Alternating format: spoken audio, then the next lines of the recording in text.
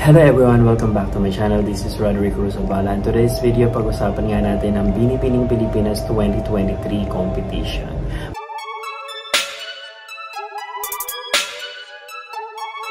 Before I start guys, if you are new to my channel, if you haven't subscribed, please do consider to click that subscribe button and the bell button para hindi nyo ma-miss ang susunod kong mga uploads. Alright, so this is my opinion or my prediction. Bigay ko sa inyo guys yung aking top 15 um, na possible top 15 ng Binibining Pilipinas. Okay, alright, so simulan na natin doon sa aking personal top 15 at saka yung mga pwede na, yung pwede nang isama sa top 15. Right, so simulan natin sa speech pathologist. She is from Albay. Jean Isabel Bal Balisano. Alright, medyo mahirap big kasi or pronounce yung kanyang pangalan. Kung titingnan mo siya sa picture, she is very, very, very pretty.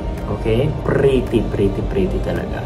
But um, in motion, pag makikita mo, parang teenager yung face. Chubby-chubby. Pwede mo mapagkamalaang si um, Heaven Peralejo na parang may pagka-kisses. Um, she is beautiful but I think she is not for a beauty pageant. Maybe not this time. Maybe in the future if she is going to prepare more or improve more. Um, but she has a potential. Alright, next one we have from Manila, Zoe Santiago. Zoe Santiago to be honest, nung nagpasa pa lang siya ng application sa Binibining Pilipinas, I said na talagang may kalakihan siya. Siguro bilugan ang katawan, maliit ang bewang, but medyo may kalakihan siya.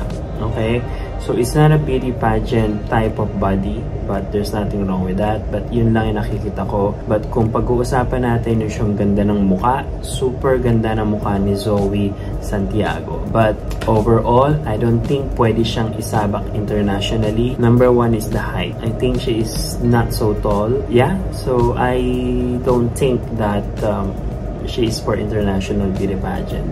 But she is very very beautiful. Next one is from Palayan City Nueva Ecija. She is Gianna Lianes.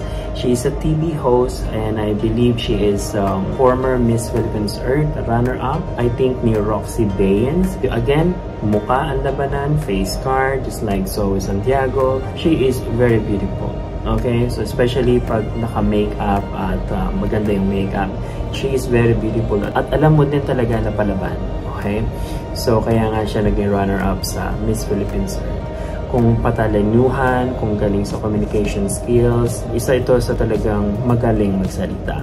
But, again, may kaliitan para sa akin. Um, but who knows? Siguro the least Miss Globe po pwede pa siyang manalo ng Miss Binibining Pilipinas Globe. Next is Kiara Kiel Hamlik uh, Gregorio. I'm not sure if she is half British, but I believe she studied in in England. Okay, so she is a TV host, model. But kagaya nga ng iba kong nasabi dun sa ibang mga nasabi kong candidates, she is beautiful in pictures. But in motion, hindi siya ganun kaganda. So, yun yung problema ko sa kanya. Maganda yung katawan, okay. Pwede siyang pang mga fashion show. Um, but hindi siya pwedeng ilaban internationally. Yun lang para sa akin.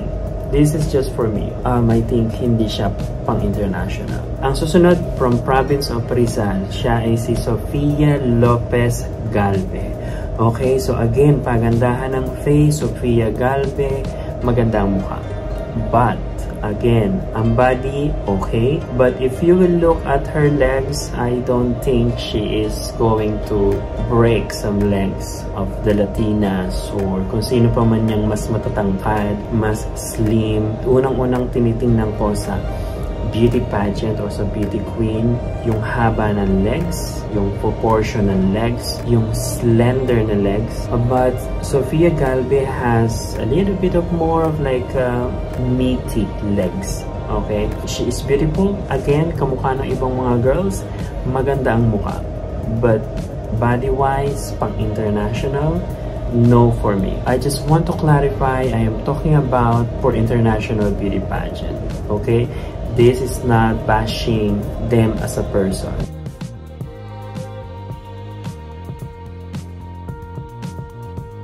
Next, ito yung talagang po pwede mong ilaban. Sila yung po pwede mong itaya or tayaan ng corona at title para mag-represent ng Pilipinas sa international pageant. Okay, simulan natin walang iba kundi si Zea Nessel Pala. So she is from Tarlac province.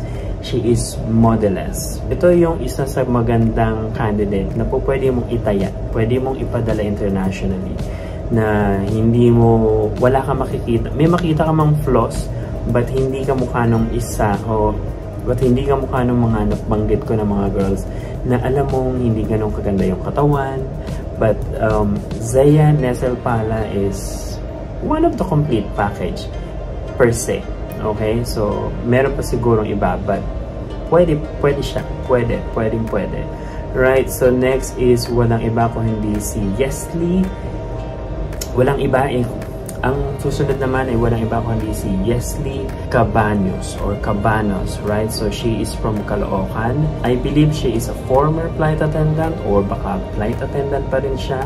And she is a model as well. Meron siyang parang hawi kay Gassini na parang Miss Vietnam na parang ganon yung beauty niya especially pag naka-makeup. Okay? Right, so pwede siguro siya sa Miss Globe. Um, Morena, ito yung mga nagsasucceed din sa Miss Globe. Um, aside from Maureen Montaigne na talagang um, kakaiba sa pinadala nating mga morena in the past. This is also one of the morena na po pwedeng um, mag-uwi ng corona sa Miss Globe, pwedeng magbalik ng corona sa Miss Globe um, para sa Pilipinas. Camarines Sur, si Rima Adacoden. So she is I think half Um, she is beautiful, she is very unique. Um, pag kung sakali na hindi manalo si Yesli, po pwede din to sa Miss Globe. Okay? Po pwede rin sa Miss International. She is very unique. Ganda ng kulay. Right? So, ang ganda ng kulay niya, ang ganda ng teeth, ang ganda ng ilong. It's just that medyo hindi pantay yung kanyang ganito minsan sa ibang picture, sa ibang angle. Okay? So, pag nakaharap siya, alam mong hindi pantay. But, mapapansin mo lagi siyang nandito sa makaliwang side naka-smile na ganyan. Next natin ang walang iba kundi ang PBB 8 if I'm not mistaken. She is from General Trias Cavite. She is Atasha Rain Parani. Alright, so Atasha Rain Parani, she is more on like Chinita, Filipina, Oriental beauty. She's only 19 years old, very very young Um, if ever hindi siya manalo ngayong taon, pwede pa siyang bumalik at mag-prepare pa uh, by next year, by the next two years, or kung saan na po pwede pa yung age niya. So she is, I believe, a model and a student. Um, she has the quality of a beauty queen, a Filipino or Binibining Pilipinas prototype beauty queen. We never know. Um, she is still very young, just like I said. One of the girls na po pwedeng ipadala international. The next one is walang iba kundi ang ating doktora. Alright, so she is a medical dentist. She is walang iba kundi si Tricia Martinez from Laguna. Super cute ng face.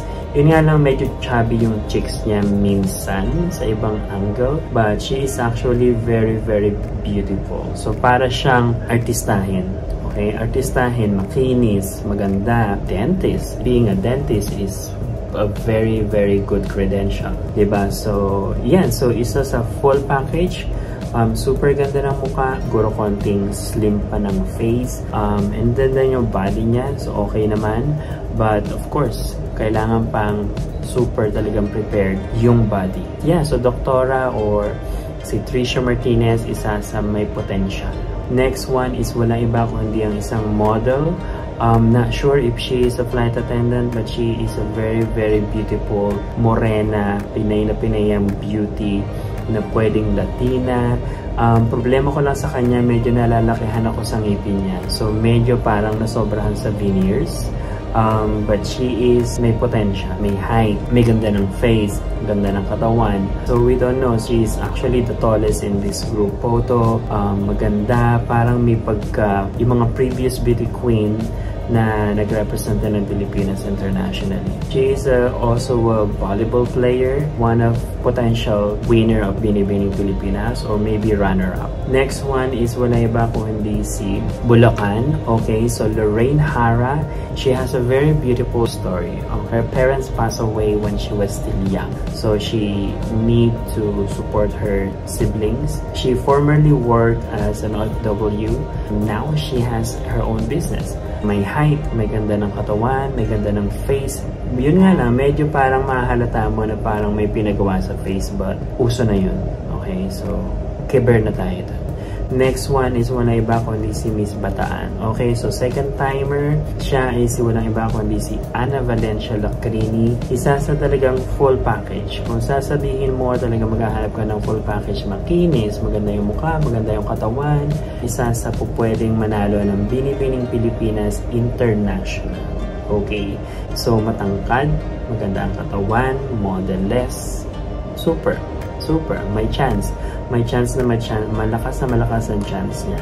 Next one, we have from Palawan, Angelica Lopez. So she is one of the most favorite or the top favorite para manalo sa Binibining Pilipinas 2023. Um, there's no doubt about that dahil isa siya sa talagang unique yung beauty. Pinay na Pinay, hindi siya half, um, super ganda ng kulay. Um, para si Rima, maganda yung kulay, but she is pure Pinay.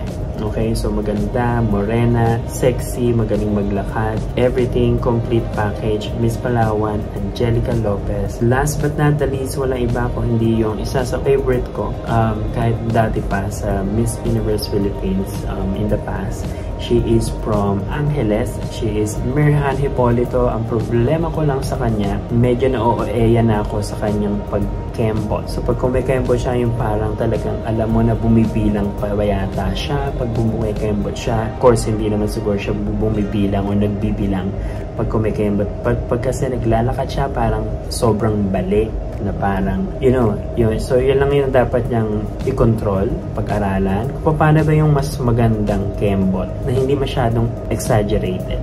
Right, so magmumukha siyang parang Miss Puerto Rico um, noong 2021 na super magalaw. Right, so yeah, so Mirhan Hipolito isa sa parang Miriam Kembao, Janine Tugonon, she is one of the full package. Um, I think she is going to win one of the title or maybe runner-up. So hanggang dito na lamang guys, ito lang yung opinion ko, yung aking personal favorites para sa Binibining Pilipinas 2023. Palagay nyo sino yung mga pinakamalalakas or pwedeng manalo sa darating na coronation ng Binibining Pilipinas 2023. Hanggang dito na lamang guys, thank you for watching and ano masasabi nyo sa aking video. Write your comment down below and see you on my next vlog.